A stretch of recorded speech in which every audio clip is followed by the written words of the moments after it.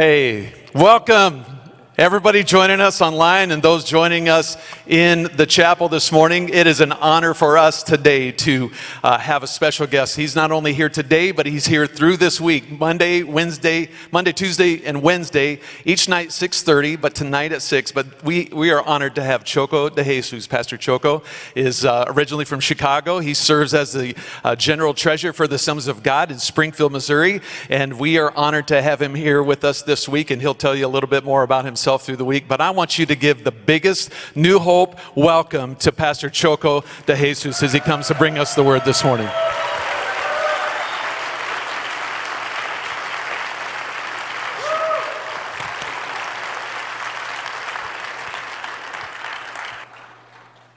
Well, good morning. I greet you in the name of the Lord Jesus Christ. He's our Lord and our Savior. He's our Redeemer. He's not dead. I spoke to him this morning. And he wants me to tell you that he loves you.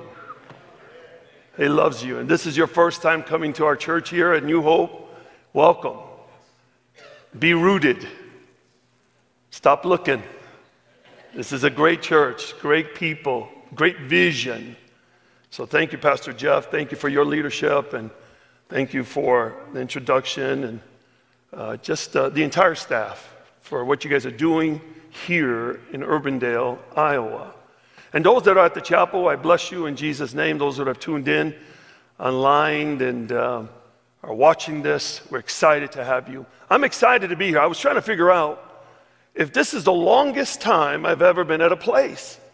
Well, I'm here today, tonight, at 6, uh, 6, 6 p.m. And then tomorrow, and then Tuesday and Wednesday. By Wednesday, you guys would be like, when is he leaving? or do we just take his membership? But what a joy. I've been praying for you all. Been praying for this event, been praying for this weekend. I've invited some Hispanic churches. I'm inviting you to come tonight. Don't stay watching NFL. There's nothing that they can do for you. Amen. Come on, get to church. Amen. So we're, we're excited, and I'm here with my wife. Let me show you a picture of my wife. Uh, uh, this is my wife, Elizabeth. When she was 12 years old, I was 14. I asked her out to be my girlfriend. True story.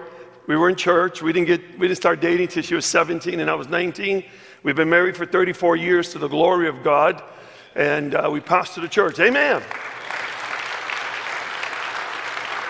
We pastored a church in Chicago for 19 years. Her father was the former pastor for 35 years and I pastored a church for 19 years in the hood of Chicago. Elizabeth and I have three beautiful children. Let me show you my kids, my tribe.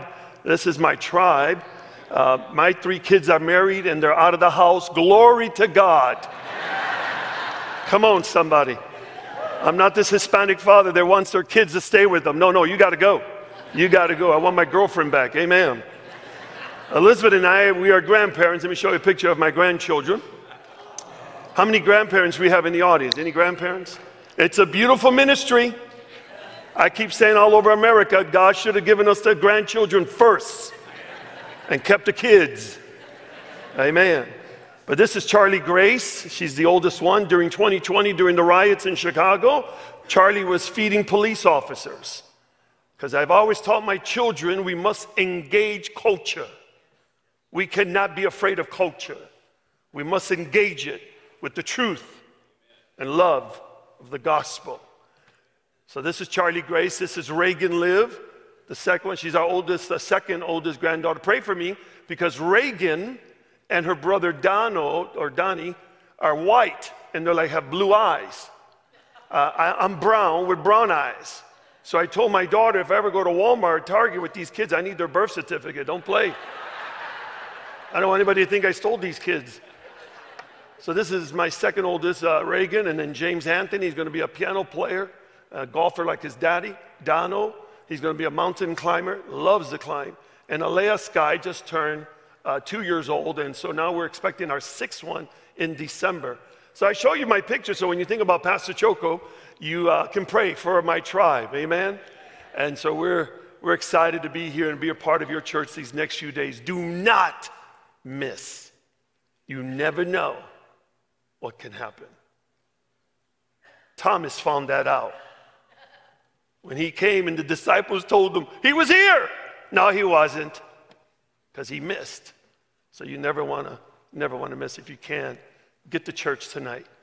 I have an illustrated sermon for you. If you've never seen an illustrated sermon, I'm going to do one for you all here in New Hope. Amen. Hey, uh, would you, if you're physically able to stand for the reading of God's word, would you stand? I'm old fashioned like that. If you're physically able to stand here in the chapel, Mark chapter 12 is where I'm at. I want to bring you a word today from my new book called Love Them Anyway. And right after the service, I'll be in the lobby area, and, and I, uh, four, I've got five books, and I brought four out of five of them. But today, I'm going to be preaching out of my newest book called Love Them Anyway, which I think answers the prevailing question in America. What do we do with this craziness that's happening in our culture? What do we do, Pastor Choco, with this racial tension and the political unrest? We love them. And when I say we love them, hear me out this morning. When I say we love them, it doesn't mean that we should capitulate our convictions. I would never surrender my convictions.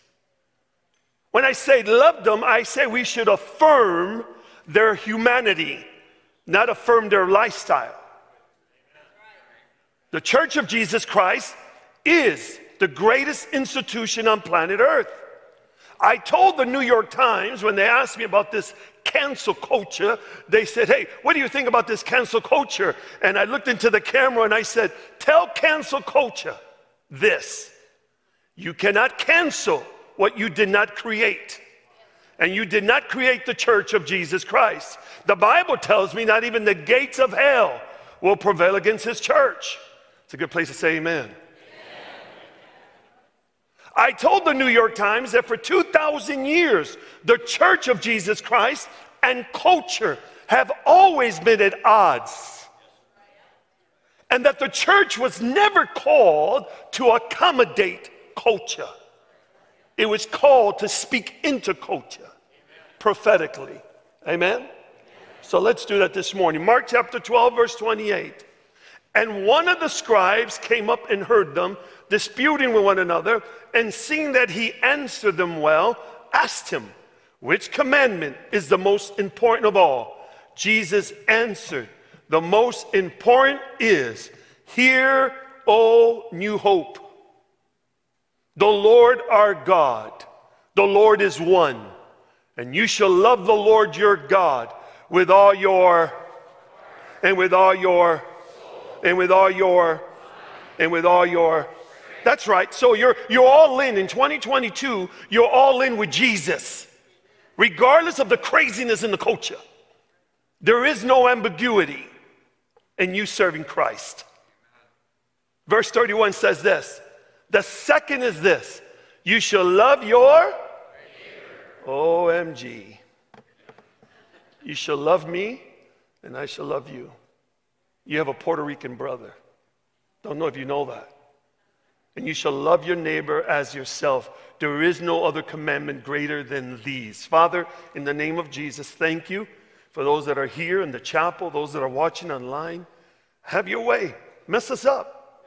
We didn't come to church to leave the same way. Provoke our spirits, disturb us, speak to us. In Jesus' name. And everybody say amen.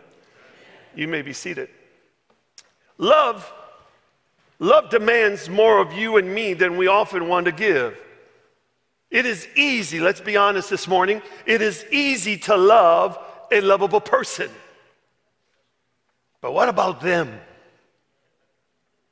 What about that stereotype, that race, that person, or that group of people in a political party or culture or social class who don't behave like you, don't believe like you, don't act like you? What about them? What about your brother? What about your mom? What about your uncle? What about those who offended you? Those who backstabbed you? What about those who abandoned you? What about them? Let me see a show of hands here. How many of you all here this morning, and those that are watching in the chapel, you've never heard of me before? Raise your hand. You've never heard. Oh, the entire church. Father, forgive them. According to sociologists, I am a status inconsistency. I should not be here in Urbandale, Iowa, preaching to you all. I should not be the general treasurer of the Assemblies of God USA. I should not be pastor. I should be dead in Chicago. I should be in prison in Chicago. But God. God is in the business of using unusual people. The Bible's filled with unusual folks that God used. You see, I was abandoned at the age of eight years old at a bar. My father abandoned my mother. Since you don't know who I am, I got to give you backdrop. My father abandoned my mother with six children in the city of Chicago. I am the youngest of six. I am like Gideon, the youngest of my tribe. And I remember going to the bar at the age of eight years old, pleading to my dad not to leave my mother in one of the worst parks in the United States. Humboldt Park was declared the worst park in the United States in the 1970s. During the 1970s, there was a riot that broke out between the Puerto Ricans and the police department because a police officer, a white police officer, shot two Puerto Ricans in the back and killed them. And that created a riot that galvanized all the gangs, the Hispanic gangs in the city of Chicago. That's where I lived with no father, no Jesus, destined for destruction for sure. My brother was a leader of a gang in Chicago.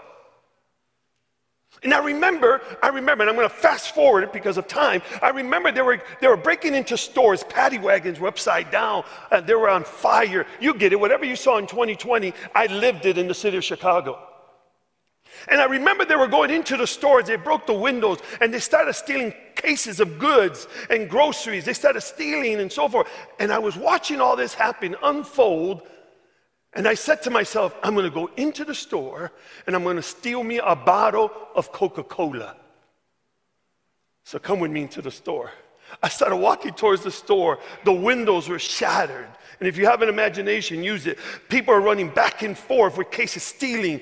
And I remember going to the refrigerator of the store, opening up the refrigerator, grabbing the bottle of Coca Cola, close the refrigerator. I may be a thief, but I have a conscience of energy. Close the refrigerator. My mother taught me well, boy, close the refrigerator. I closed the refrigerator. I walked back down with the bottle of Coca Cola and I walked onto Division Street. Division Street in the city of Chicago is the main artery of the Puerto Rican community. And I heard a voice that said, Put it back. Not today at 58, I know it's the Holy Spirit. But back then, I didn't know what it was. Put it back. Went back into the store. Walked over the threshold, opened the refrigerator, put the bottle of Coca Cola, closed the refrigerator, went back onto Division Street. And I remember thinking, who am I? I mean, these people are stealing cases. I can't even steal a bottle. It reminds me of the letters of Dietrich Bonhoeffer. Dietrich Bonhoeffer in 1945, April 9th, was killed by the Germans, and he wrote a prison letters, Who am I? That's how I felt. Fast forward a little bit, a few years later, the mayor, Mayor Bilandic of the city of Chicago, gave the Puerto Rican community over $400,000 of a grant to hire young people to clean the streets of Chicago. I was one of them. And my assignment led me to a church, 1665 North Mozart. It was an AG church, Assemblies of God Church, Palestine Christian Temple of the Assemblies of God. I walked up on a Monday, 1665, Palestine Christian Temple, of the Assemblies of God. These are Palestinians. I walked in, I told the supervisor, I said, My name is Wilfredo de Jesus, and I'm here to clean streets. He says, Oh, you're not gonna clean streets, you're gonna do VBS. I said, VB what? Vocational Bible School. He says, You're gonna work with children. I said, Do I get a check? Because my mother's a single mom. I want to help her out. He says, You're going to get paid. Every day of that summer of 1977, the young people were at the altar. They were praying, they were praying, and that began to resonate with me because these were 15 year olds and 17 year olds on their knees. I was, I was unchurched. I did not know Jesus. In August of 1977, how many know that curiosity killed the that's right. So I go to the supervisor and say, What are these people doing? He says, Well, Fredo, they, they're praying to Jesus. Do you know Jesus? I said, I don't. He said, Would you like to meet him? I said, I would. Where is he at? I want to talk to him. The young people got in a circle. The supervisor called them, and then he looked at me and says, Wilfredo, get in the middle of the circle. I said, No. Let me help you out here in Urbandale, Iowa. In the hood, you never get in the middle of anything. This is called a beatdown. Trying to help you out. I said, No. The young people started praying. I felt something happen to me. Fast forward, I started attending that church. I accepted Jesus Christ. I didn't know what I was doing. I was 14 years old. I started going to that local church, AG Church. It was November of that year of 1977. And the youth pastor comes to me and says, Choco, we're going to Lansing, Michigan for a youth convention. Why don't you come with us? I get in the church van. We head towards Lansing, Michigan. The preacher's preaching in a hotel. He makes an altar call. I come to the altar again. I want to tell you this morning, I got saved many times in my life. Every time there was an altar call, I wanted to be at the altar. And so I was kneeling down, an old lady comes and she puts her hands on my shoulder and begins to speak in tongues. It's not Spanish, because I'm Puerto Rican. I know Spanish. And then she prophesied.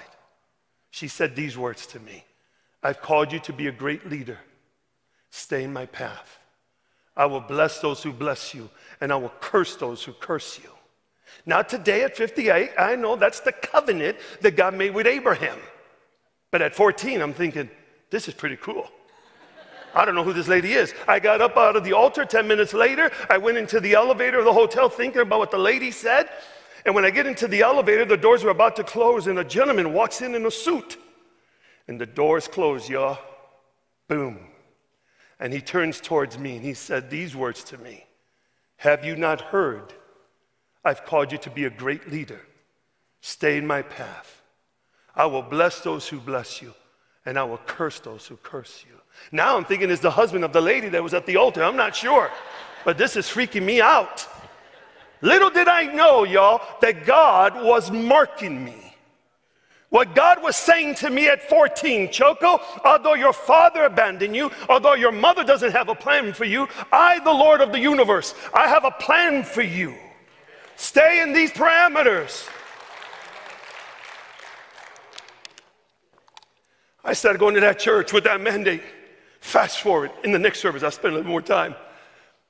My wife and I, now is the year 2000, in that same circle of 1977, in that same circle where those young people prayed, now I'm kneeling down, being anointed as the pastor of that local church that I was sent to in 1977.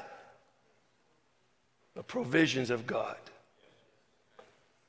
I started pastoring their church in Chicago, y'all, and since I wasn't raised in the church, and I knew that this gospel that you and I believe cannot be within these four walls, they must go outside. We cannot keep it. People need to hear about the love of Jesus. America does not have a hem problem. America does not have a head problem. They have a heart problem. There needs to be a metamorphosis. And only Jesus Christ can change the heart of a human. I've been preaching that, telling people. And so I started throwing the net, y'all, in Chicago. I started bringing in black fish, white fish, Asian fish, gay fish, straight fish. I brought them in because my father loves them. Even in their mess, he loves you. I started bringing in that church, started growing from one service to two service to three, 17 services on a Sunday to the glory of God because my father loved me. I remember one time where the police commander came to me and he said, Reverend, we have a problem. I said, What's your problem? He said, We've arrested 600 women for prostitution in nine months. I said, Commander, you have a problem. He says, Is there anything your church can do? I said, We'll pray for you. Now, how many believe in the power of prayer here this morning? I believe in the power of prayer, but I also believe, church, that with revelation, look at me, with revelation comes responsibility. When God reveals to New Hope the condition of Urbandale, Iowa, yes, we should pray, but we should act. Because you're learning that with revelation comes responsibility. So I called one of my female pastors to my office and I said to her, I need you to go find me five prostitutes. She said, Come again? Said, I want you to go find me five women and ask them how much they would charge me for one hour of service. And she's like, Pastor Choco. I said, Go. Go do it. She goes, comes back two and a half hours later. She comes back with five women, mini skirts, they're drugged up, African American, Hispanic, messed up. They get out of their car. The female pastor comes to me and says, Now, Pastor Choco, the tall one's gonna charge you $50 an hour. The one next to her is 35, the other one's 40. $225 for all five women. I said, no problem. So I go to the women. I started giving them money, and one of the ladies says, What do you want us to do? I said, I want you to follow me, please. And I take them inside the church, y'all. And inside the church, I prepared a banquet with roses and candles. And I remember taking out the chair one by one, and I said, Please sit. Please sit. I have you for one hour. I'm going to tell you about a man named Jesus who loves you dearly. You were not born a prostitute. And he loves you even in your mess. And for one hour, my wife led worship. The young people of the local church did drama. And I preached about the love of God that not even Rahab in the Bible was born a prostitute. That we must do something to rescue these girls. And then when my time was up, I said, Ladies, I'm sorry, I only paid you for one hour. They were crying, stood up profusely. And they said, Preacher, no man has ever treated us this way. Here's your money back. We don't want your money. Today, some of those women are elders and deacons of our church in Chicago. Love compels us. What is love in Mark 12? What is love in this context? We read that Jesus broke boundaries to love the people that many despised. Hear me out this morning. His love transforms people. His love saw past disagreements, indifferences, offenses, loving them like this. It's hard, Pastor Choco. You have no idea what she did to me.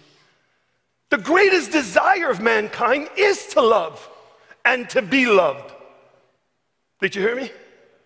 Love is from God because God is love. The Old Testament develops and amplifies these two points love for God and love for each other. Have you ever noticed the Ten Commandments? The Ten Commandments, the first four is dealing love for God, and the next six is loving each other. Come on now, come on now. Don't, don't kid yourself. It wasn't the nails that held Jesus on the cross. Come on. It was his love for you and for you and for you and for you that are watching. It was his love for you and me. When I was I was swimming in a pool of blood and I was messed up in Chicago, he loved me.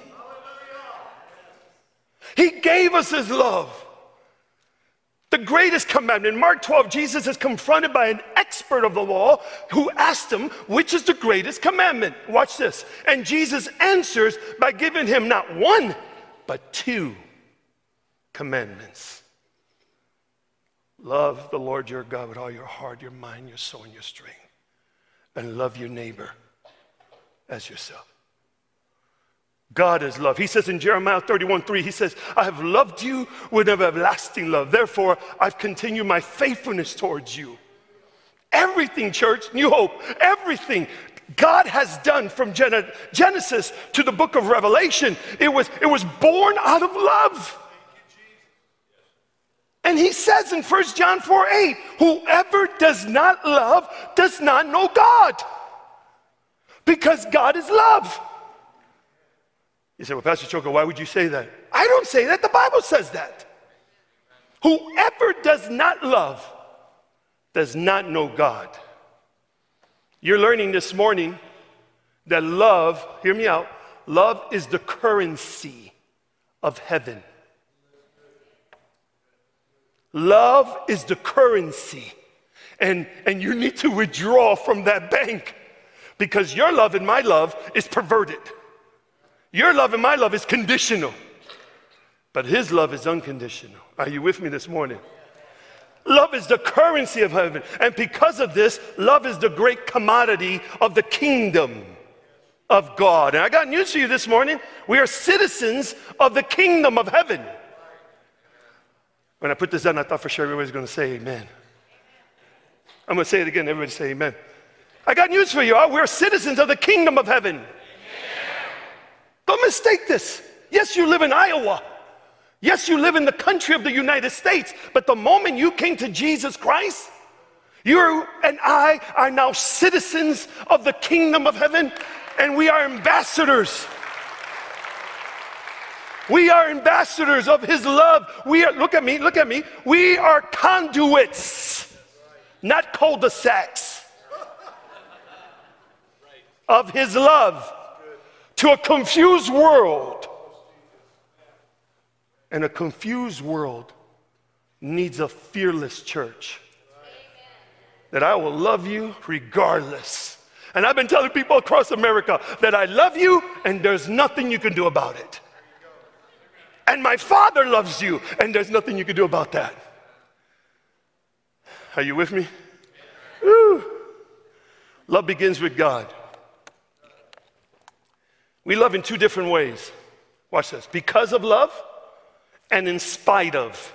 Let's deal with this one really quickly. Because you got money, I love you. Because you keep me in the house, I love you. Because you have a nice car, I love you. That's because of. In spite of love says this in spite of the fact that you diss me, I still love you. In spite of the fact that you backstab me, I still love you. In spite of the fact that you can never pay me back, I still love you. I remember, I remember my son. You know, pastors' children are not born with halos. My kids are like your kids, they're knuckleheads. But one day the Holy Spirit woke me up around 11 o'clock in the night. Go look at the car. I went to the garage, looked at the car. Sure enough, marijuana, drugs. Well, can you imagine a father? I'm broken. We don't do this in this house. We don't even drink. We don't do none of that. I took the drug stuff and I went upstairs to the room. And I woke, I woke him up around 11.30 down the night. And his name is Pito. You saw him in the picture. I said, Pito, what's up with this? And like any teenage boy, he said, It's not mine. It's my friend. I said, Pito, the Holy Spirit told me is yours. And if the Holy Spirit told me it's yours, you're dead in the water. I said, Look at me, boy. Look at me. You hear me, son? You have no idea what you've done to your father and your mother. I will knock on heaven's door on your behalf. And I'll keep knocking on heaven's door until God gets this out of your system. Because you were born with destiny. I said, Look at me, Pito. Nothing you do, son, nothing you do can make me love you more or less. But you are in control how pleased I am with you. And I'm not pleased with you. Well, praise the Lord. He's 27, going on his second child, loves God, serves the Lord. But he was my them. What do you do? you love them. When we started rescuing prostitutes, we ended up buying a farm. I'll share a little bit more about it at the second service, but we ended up buying a farm three hours from Chicago in Cambridge, Illinois. And, uh, and we started rescuing women on Friday nights. Our women from the church would go on a church van and they would go by the strip joints in the motels and they would go out there, my wife included. She would be out there and they would see women in the corners with their pimps and we would give them roses. And on the, on the roses, on the stem, there would be a card that says, If you want to be rescued, there's a van around the corner. And we would get women, take them in the van, and take them to Cambridge, Illinois. One lady got in the van, took the three hour drive to Cambridge, Illinois, gets to the farm, it's 15 acres, cornfields. She's a little bit high. She gets out of the van and says, Okay, I made a mistake. I got to find a way back to Chicago. So she started walking around the 15 acres and she went to one of the barns and she saw 10 speed bikes. And she began to put a plan together and she says, I'm going to steal them. I'm going to head back tomorrow morning at 6 o'clock when everybody's sleeping. She goes back into the dorms, tells one of the ladies her plan. That lady got up and went to go tell the pastor. His name is Pastor Rico. And Pastor Rico says, Don't worry about it, I got it. He gets up around midnight, Pastor Rico, and he goes to the barn and he opens the door and he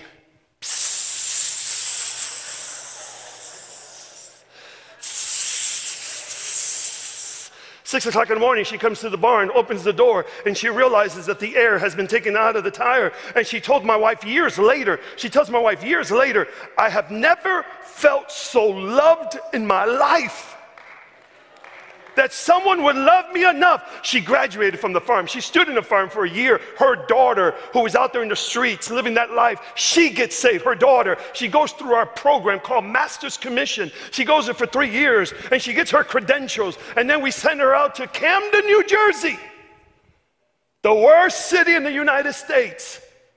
Camden, New Jersey. And she opens up, we open up a campus because I always wanted to be where is the worst. And she's there. And we begin to minister to people. I would fly from Chicago, do my five services, and on a Tuesday morning, I would be preaching to nine people in a storefront because my father loves them. And there's a cost for reconciliation. Someone has to pay so that others will be reconciled. Are you with me this morning? I know it's uncomfortable to love people. Seldom used these days to love people, to love your enemy. I've been saying across this country that that's what we need is our church to love folks who have hurt you. You see, my father abandoned me when I was eight years old. I told you that. I was destined for destruction, had no future. But a few years ago, before I went to Springfield, Missouri, I was still pastoring the church in Chicago. And we had a family meeting, my siblings and I. And they tell me in this meeting that my father, who lives in New Jersey, they're about to amputate his legs. He's in his 88 years old. They're about to amputate his legs. And there's different feelings in this room. You get the idea. This man abandoned all of us. There's different feelings. Leave him there, whatever. Let him just burn in hell. Some don't know Jesus. You know what I'm talking about. I said, oh, here's what I'll do I'll, I'll buy him his ticket and I'll fly him to Chicago, to Chicago O'Hare. I'll bring him here and I'll bring him to my house. So we flew him from New Jersey to Chicago. I picked him up and I take him to my house. My wife is cooking meal for us. And I remember begin to take off his clothes to clean the wounds of this man who abandoned me at eight years old at a bar. You think I would have one or two questions for this man. Why did you leave my mom? Why did you do that? I had zero questions. None. At this point, I'm a man. I'm a father, I'm a grandfather. But I do want this man to know Jesus, my heavenly father. He was my them. Love them anyway and I began to clean his wounds. I wanted him to see Jesus, not Choco, Jesus, in spite of, of what he did to us. Well, he lasted a year in the city, his leg got healed. His leg gets healed. He lives with us, he lives with my sister. We sent him back to New Jersey because that's where he wants to be. And a few weeks later, someone sent me a picture. I want to show you this picture of my father Go ahead and put up that picture. This is him. He's now 93. He's never been in a church. His church was the bar until his son showed him love, my father's love. And I've come from Springfield, Missouri to mess you up, to tell you, let it go. Let it go. Love them. Pastor Choco, you don't know what she did. I understand. But love them. How would they know that your Father lives with you? Would you stand with me this morning? Those that are at the chapel, would you stand as well? God commands us to love, to love Him and to love others. Romans 5 5 says, And hope does not put us to shame because God's love has been poured into our hearts through the Holy Spirit who's been given to us.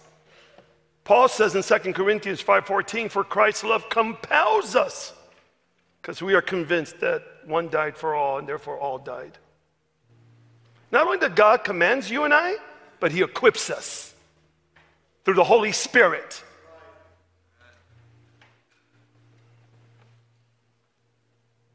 Who? Who is the them in your life this morning that you need to forgive? You need to let go. With every head bowed and every eyes closed all over this sanctuary. I don't know how many of you here at the sound of my voice would say, Pastor Choco, uh, this sermon was for me. I needed to hear this. I haven't spoken to my sibling in a year, five years. It's been a while. And I realize I must pay so that we can be reconciled. Pray for me that God would give me the strength to love them. Pray for me. If that's you here at the sound of my voice, I want you to lift your hands quickly. I want to pray for you. Hands are going up, hands are going up. Who else? Pray for me. I'm not asking you to join my church. I'm asking you, what are you going to do with this love? My father loves you. I need help to love. I have a son, I have a daughter. He's my them. Hands are going up. Who else? Keep your hands up. I'm going to pray. And with pastor's permission, if you raise your hand, I believe in altar time. If you raise your hand, I want you to get out of your seat and meet me up here quickly. Do that. Even at the chapel, I want you to do that quickly. I give you 30 seconds to get out of your seat. Don't let fear paralyze you. Get out of your seat quickly and come. He loves you. He loves you. Everyone has a them. Everyone has a them.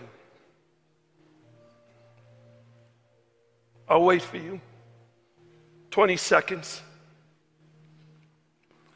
Pastor Choco, I need Jesus in my life. I've backslid. I've walked away from the church. I need Jesus. Pray for me. If that's you, I want you to get out of your seat. Come, come. My Father loves you. He loves you. Love them anyway. And here's what we're going to do, church, as we begin to worship. I'm going to ask the ministers of the church and pastors, come on, let's just pray for our brothers and sisters here in the sanctuary. Church, would you extend your hands forward? Would you begin to pray for these, your brothers and your sisters that are here as we begin to worship? Come, He loves you. Let's pray.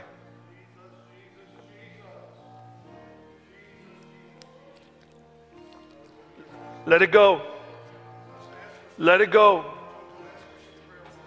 Prayer warriors, would you come? Come. Let's just lay hands on our brothers and pray with them. Prayer warriors all over, those in the chapel, come. Let's pray.